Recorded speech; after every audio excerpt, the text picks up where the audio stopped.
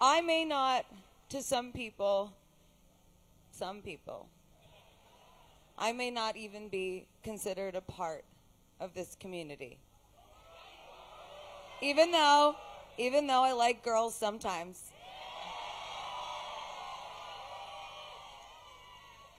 I would never degrade the fight you have all endured, the adversity,